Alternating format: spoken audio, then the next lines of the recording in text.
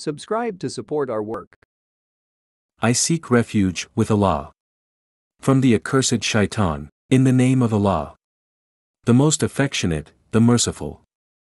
By those, that run snorting, then bring out spark of fire from stones by striking their hoops, then devastate at morning, then at time, they raise clouds of dust. Then penetrate into the center of the forces of enemy. Undoubtedly, man is greatly unthankful to his Lord. And undoubtedly, he is himself a witness over it. And undoubtedly, he is strong in the love of wealth. Does he not know when those that are in graves shall be raised? And that which is in the breasts shall be opened. Undoubtedly, their Lord and that day is fully aware of them.